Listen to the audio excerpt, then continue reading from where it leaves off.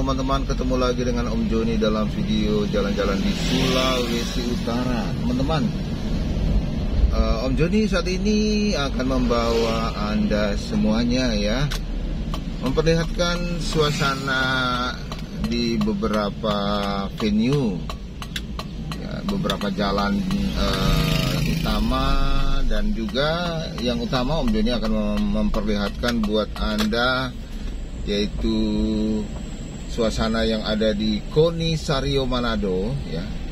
Jadi Om Joni akan memperlihatkan memperlihatkan suasana yang ada di Koni Sario dan suasana yang ada di Jalan Siswa dan di Jalan uh, Kembang. Nah, itu dia. Nah, Om Joni belum pernah ya memperlihatkan suasana yang ada di Jalan Siswa dan Jalan Kembang yang ada di seputaran Koni Sario.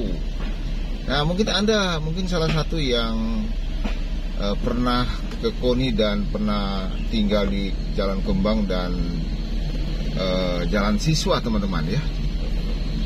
Ini dia teman-teman, Om Joni bak potong dari Jalan 17 Agustus menuju ke Jalan Samratulangi. Atau orang bilang uh, menuju ke Pikat. Ini jalan potong jalan pendek ya, teman-teman. Ini suasananya ya.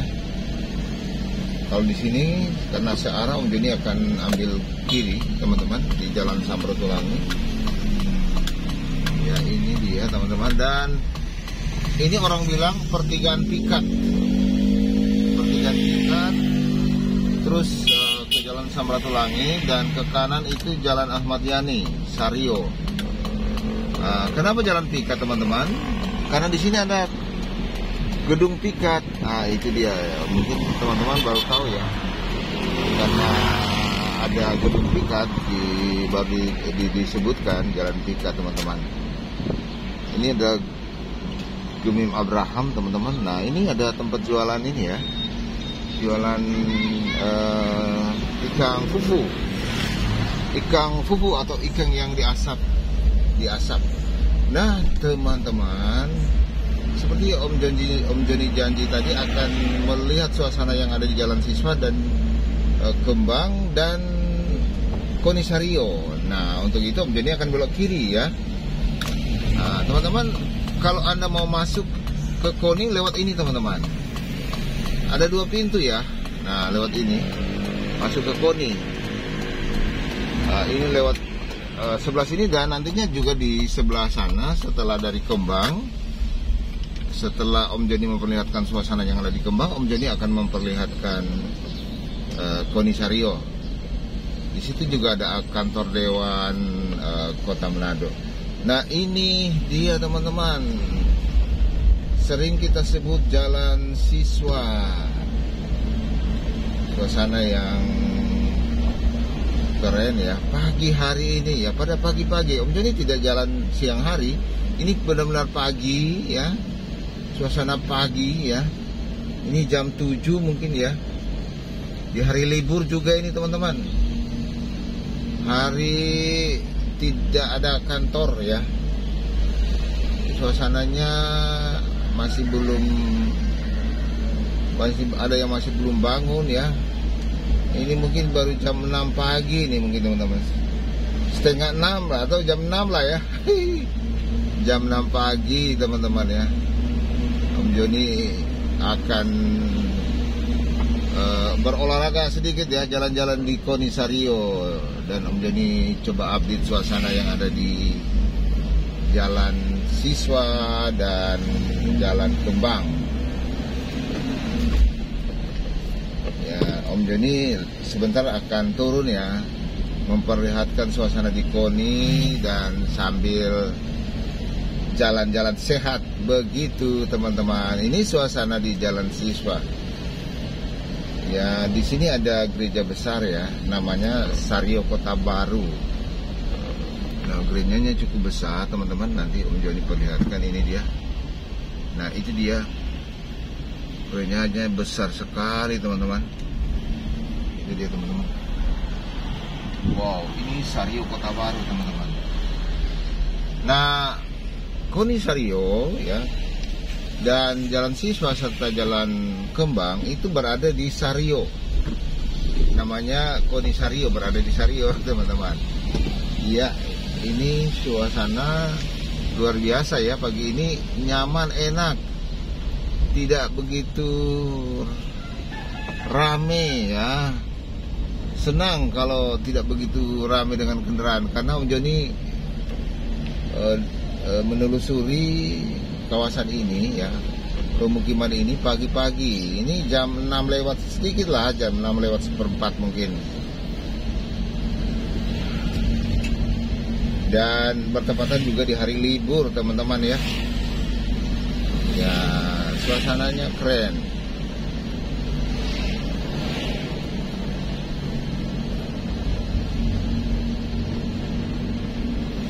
Nah ini ya ada jalan pramuka ya ini jalan Siva jalan pramuka. Ini sekolah. SMA Negeri 1 lalu SMK Negeri 1 ya. Kenapa jalan siswa sebab ya Om Joni infokan lagi di sini terkenal dengan sekolah sekolah-sekolah utama yang ada di Kota Manado. Ini SMK Negeri 1 sekolah utama sekolah boleh dikatakan terbaik di Kota Manado bahkan Sulawesi Utara yaitu SMK Negeri 1 dan SMA Negeri 1. Nah itu dia teman-teman dan Om Joni uh, masuk ke jalan ini tembus ke jalan Samratulangi sebelah kiri dan sebelah kanan ini jalan Bethesda. Jadi Om Joni hanya uh, berbalik lagi tapi tidak ikut ini dan menuju ke jalan Bethesda dari bundaran patung Samratulangi. Nah depan itu patung Samratulangi. Om Joni hanya berbalik lagi teman-teman ya. Bawa putar lagi. Nah ini sudah masuk ke jalan raya Manado Tomohon ya ini. Nah, Karombasan Jalan Raya Manado Tomohon. Nah, Om Joni putar lagi. Seperti itu ya teman-teman. Nah, Om Joni dari sana tadi ya tapi Om Joni akan ke kiri ke jalan Bethesda. Dan sebentar nanti Om Joni masuk lagi ya ke pemukiman. Ini kantor negara keuangan. Kantor keuangan negara. Terbalik ya Om Joni kantor keuangan negara. Ya. Wow. Di sini ada gereja Bethesda demi Bethesda ya teman-teman ini suasananya indah pagi-pagi begini teman-teman ya. Ini udah jam berapa ya? Setengah tujuh pagi mungkin teman-teman. Setengah tujuh pagi.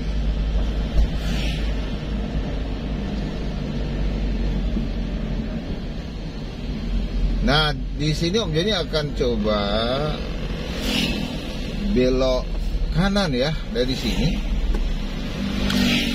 Jadi akan belok kanan masuk ke Kembang. Pemukiman Kembang. Orang bilang Kembang ya. Area Kembang tapi di sini namanya Jalan Pemuda yaitu tapi orang lebih se orang lebih senang atau yang terkenal yang terkenal di Manado orang bilang kembang. Kenapa kembang? Ya, ya mungkin di sini uh, banyak bunga dulunya. nah, Om Joni belum tahu sejarahnya. Tapi orang sering bilang kembang. Nah ini suasananya. Kalau sebelah tadi jalan siswa ini kembang teman-teman.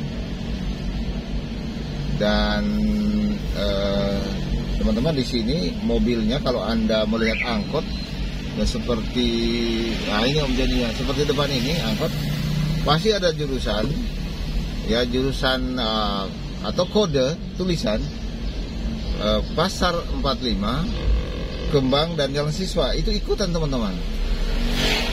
Pasar 45 kembang dan jalan siswa. Itu berikutan teman-teman ya berikutan. Itu satu jalur DP nama. Nah ini suasananya di jalan kembang wow Eh, pemukiman dan suasananya keren. Ini bukan jalan utama ya teman-teman ya. ini hanya jalan pemukiman dan menghubungkan beberapa jalan utama, misalnya jalan e, Bethesda dan jalan Ahmad Yani Sario. Ya ini masih di Sario, teman-teman luar biasa ya. Pagi hari ini suasana keren dan Om Joni akan sebentar akan mengupdate suasana yang ada di Konisario. Ya melihat suasana yang ada di Konisario Manado.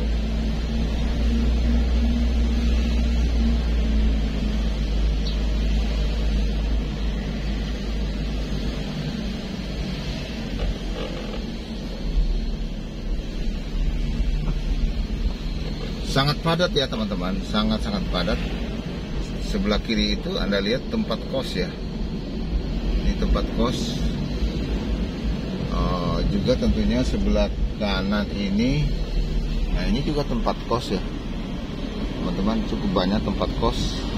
Rata-rata tempat kos sebab dekat sekali dengan pusat bisnis.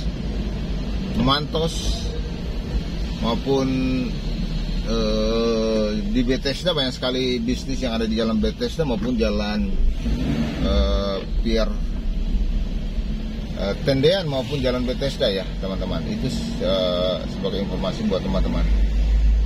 Nah ini dia teman-teman. Om Joni sudah masuk di area Koni Sario Manado. Nah ini Om Joni sudah masuk di sini teman-teman ya. Ya Om Joni coba ya. Akan masuk ke Koni teman-teman. Ya akan masuk ke Koni tapi Om Joni parkir dulu di sini teman-teman ya. Om Joni parkir. Nah ini Koni Sario teman-teman. Nah kan? Om Joni parkir dulu ya teman-teman di sini. Nah teman-teman Om Joni sudah turun ya Nah, Om Joni tadi infokan bahwa di sini ada kantor Dewan Perwakilan Rakyat Kota Manado. Ini dia, teman-teman. Ini kantor dewan ya, teman-teman. Wow, luar biasa ini. Berada di Konisario Manado. Dekat gelanggang gelanggang olahraga Konisario. Nah, ini teman-teman, kita sudah masuk ya. Om Joni coba akan masuk ke kawasan gelanggang olahraga. Namanya Robert Walter Menginsidi ya coba Om Joni. Om Joni masuk ya. Apakah ada kegiatan lari-lari? Ya. Nah ternyata ini ada kegiatan jalan-jalan tapi tidak begitu banyak ya. Masuk dari mana ini Om Joni? Coba cari masuk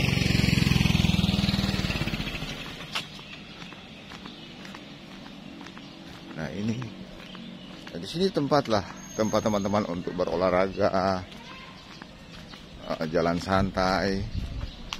Om Joni coba memperlihatkan suasana di sini ya.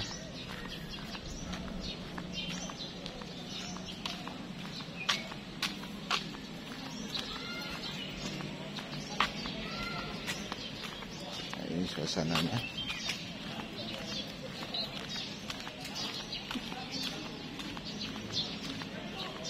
Wow. Suasananya.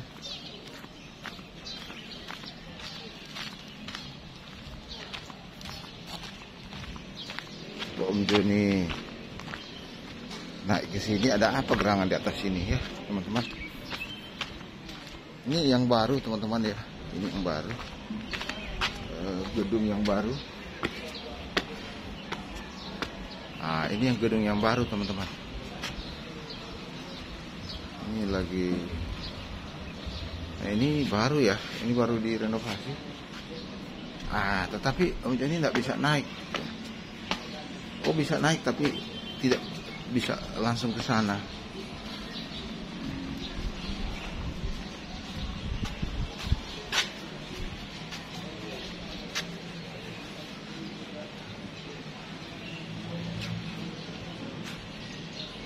Nah, ini dia teman-teman ya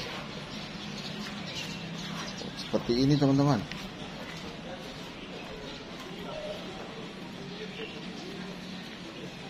Coba Om Joni masuk ke lapangan dulu ya.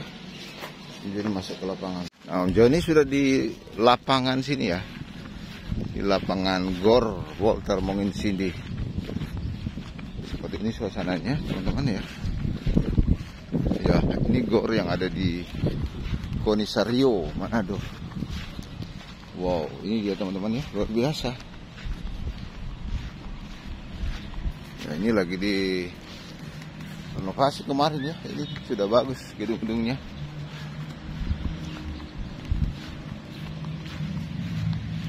Ya, ini uh, masuk ke sini dulu. Coba Om Joni lihat orang main tenis ya. Ini dia suasananya wow.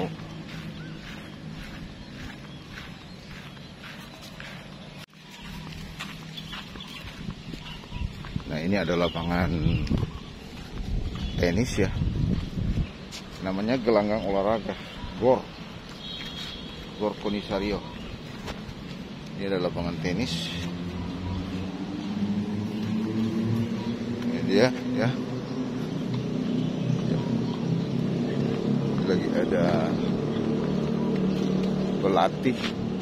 Dan di sana ada kolam renang teman-teman ya. Ini juga belum direnovasi. Ini anak-anak masih uh, latihan ya. Ini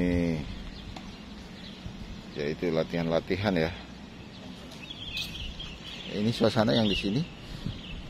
Jadi kolam renang lapangan tenis ya teman-teman. Ada lapangan bola untuk trek jogging ya. Lengkap ini. Di sana basket ya. Dan di sana itu basket ya basket teman-teman. Ya namanya Gor Walter Robert Menginsidi teman-teman. Ya itu dia teman-teman ya.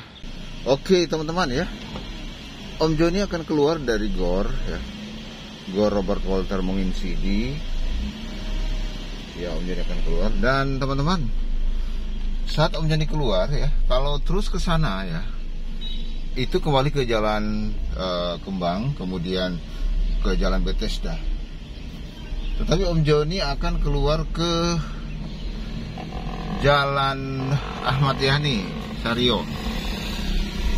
Sudah mulai rinte-rinte ini ya. Sudah mulai rinte, rintik-rintik hujan, teman-teman. Wah, sayang ya. Sayang ini. Nah, itu itulah dia teman-teman ya, itulah dia teman-teman. Uh, suasana terkini pada pagi hari. Ya, ini mungkin jam 7 pagi ya, teman-teman. Di Koni. Ya, ini Koni ya. Dan Om Joni masuk di Jalan Ahmad Yani. Ini suasana Jalan Ahmad Yani, teman-teman. Ya, jalan utama di kota Manado. Dan itulah teman-teman ya, Om Joni telah memperlihatkan buat teman-teman semuanya ya kawasan yang menurut Om Joni bagus ya teman-teman. Uh, Koni Sario Manado ada gelanggang olahraga ya gelanggang olahraga di Koni Sario. Tadi Om Joni sudah memperlihatkan ada gedung-gedungnya yang di mana di situ bisa main basket, volleyball ya, kemudian ada lapangan tenis lapangan ya, kemudian ada trek uh, untuk jalan pagi, jogging, ada di situ teman lengkap. Anda mau berolahraga silakan uh, menuju ke atau datang ke kawasan itu. Nah, ke kembali jalan Om Jani tadi menelusuri jalan siswa dan jalan kembang ya. Nah itu suasana yang bagus ya pagi-pagi Om Joni memperlihatkan suasana di sana ya. Dan Om Joni infokan di situ adalah pemukiman pemukiman padat yang ada di Sario ya pemukiman padat yang ada di Sario. Anda mungkin belum tahu dan itu suasana di Sario, pemukiman padat di kota Manado. Salah satu pemukiman padat yang ada di kota Manado, teman-teman. Padat sekali, ya, padat sekali. Oke, teman-teman. Jadi Om Joni akhiri dulu video pada hari ini buat teman-teman semuanya, ya. Kiranya video itu bermanfaat buat teman-teman semuanya. Sampai jumpa.